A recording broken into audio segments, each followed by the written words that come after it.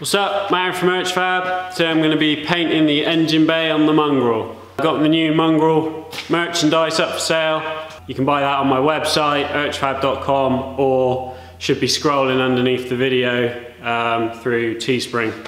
Right, all my paint's turned up, so let's have a look at what we got. This is all from Gareth at Transpares.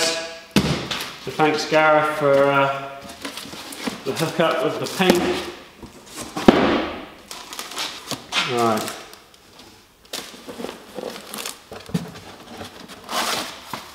So we've got a whole load of different sandpaper, scotch pads,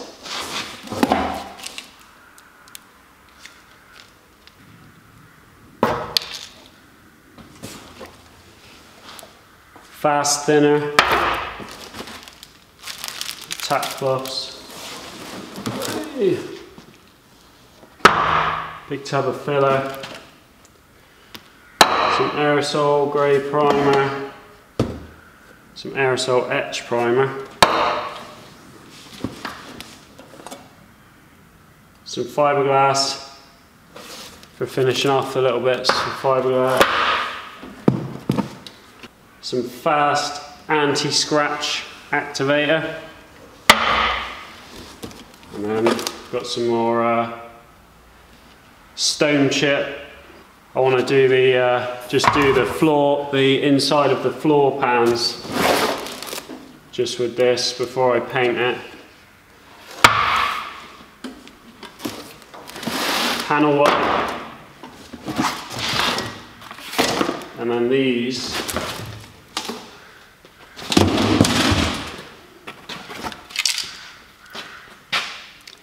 This is the 2K paint in a can. So you push that thing in and it um,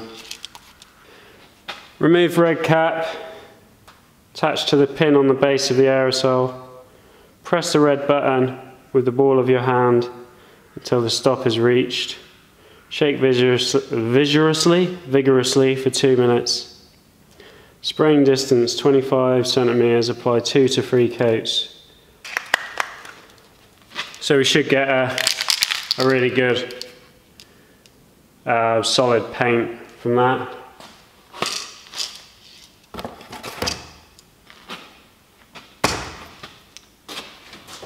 So just need to strip everything off, give it a quick going over with uh, some Scotch-Brite clean it all. I'm going to do this, uh, paint this front frame as well. The only problem I'm going to have is how cold it is in here. It's, it's freezing, so the only heater I've got is that diesel heater, which I've been told isn't going to be very good for doing this, but it's all we got, so that's what we're going to have to use. Um, but it's only this little area, so should be fine.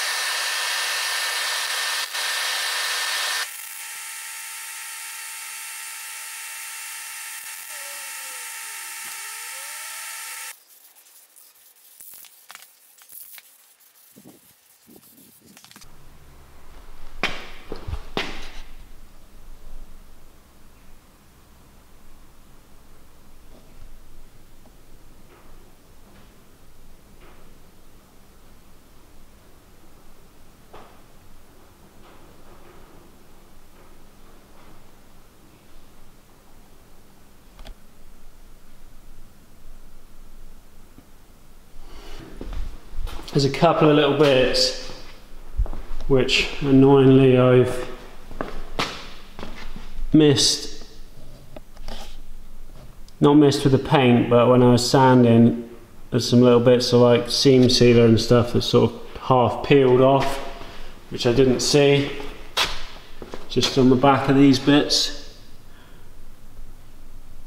Down in there. So I am I'm going to stick it, I'm just going to re-seam seal those bits and I've got one can left. I used three cans on that.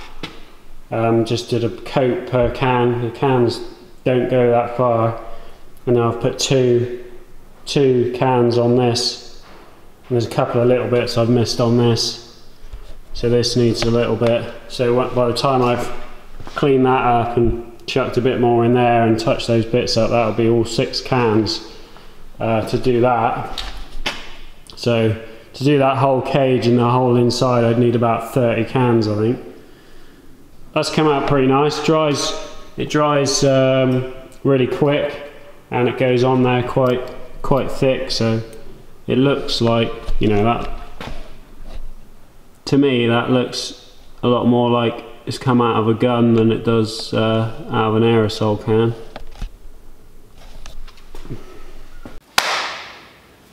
Paint. We got some paint on finally. It's nice to see.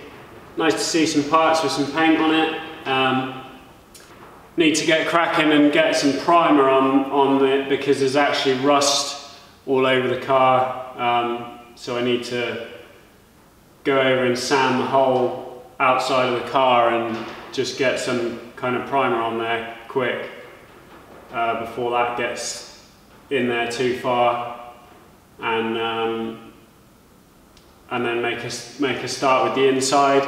Initially my plan was to do the whole inside with these aerosol cans, but I've used, I think the plan is going to be to just do, use the cans, the areas that are going to be really hard to get into, up and under the dash and places like that, and then go in there with a gun and just uh, do the rest of it with a gun.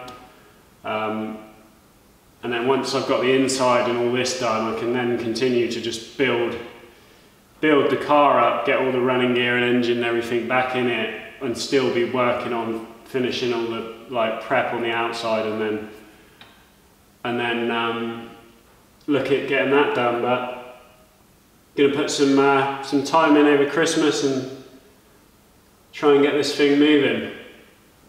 Thanks again, Gareth from Transpares. Um, if you need any paint supply stuff, head over there. I'll put a link in the description. You can mix these cans up to any, um, any colour or whatever you want. And uh, I would say you're never going to want to paint a whole car with them, but any sort of like little bits, engine bays or even like a bike frame or something like that, to have like proper, proper hard paint comes out of a can is nice and it dries really quick. So you put a coat on and then a couple of minutes you put the next one on and it builds up a lot quicker um, than normal aerosol. So um, link in the description if, if you need any of that. And um, yeah, that's it for this one. Cheers for watching. See you on the next one.